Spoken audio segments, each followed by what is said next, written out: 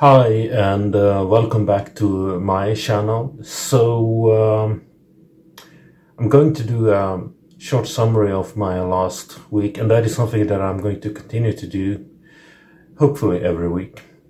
Uh, the uh, last week has been uh, kind of tough for me. I have had some uh, serious fatigue going on and uh, I have been so, so tired. And I came home from my interrail journey yesterday, which was, by the way, totally worth it. And uh, I think that is part of the reason why I have been so, so tired. And, you know, maybe it has drained a lot of energy for me, even though it was totally worth it. But uh, since I came home, I, I, have just been sleeping, but I have also experienced a little bit of uh, memory loss the last couple of days, and uh, that is usually not something that I do experience. So that's is probably because uh, it has been a lot of tempo in my life the last couple of weekends, and you know, I basically traveled down from southern Italy up to Sweden uh, with a very high tempo, and uh, maybe that did have some impact on my brain. Uh, I have also had a little bit of headache, not that much, but uh, it, it has been constantly been there. Uh, it's really not something that had bothered me that much because I'm very used to headaches and I'm used to headaches that are way more worse than this. Uh, but it's annoying.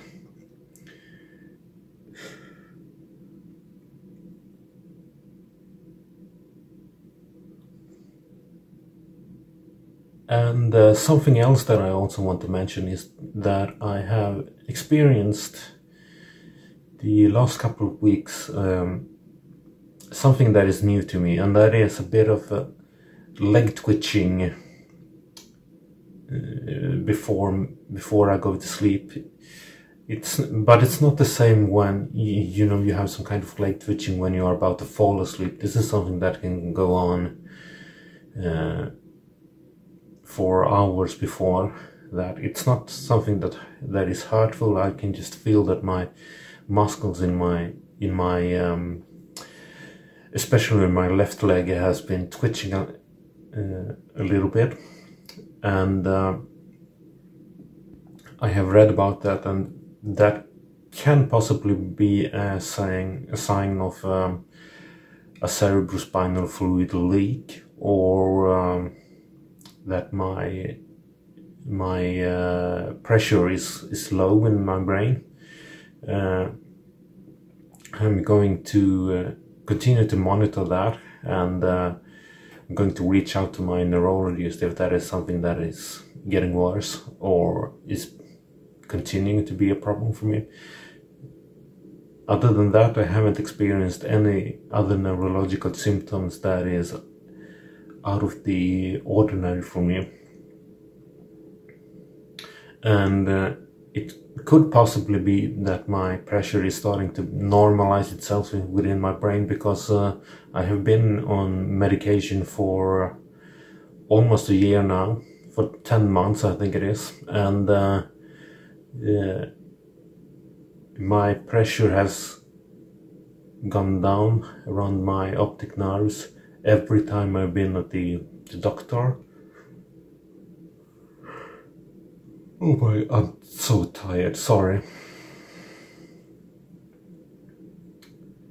This is like how I feel all day, just tired.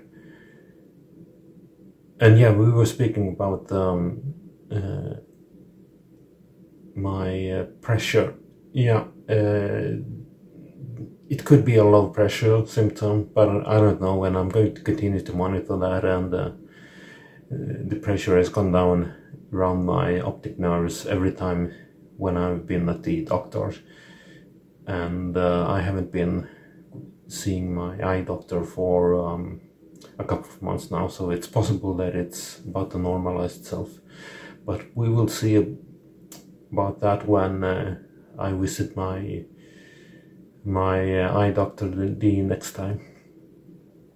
And uh, with that said, I think I'm going to stop talking now and uh, see you in the next one. Bye.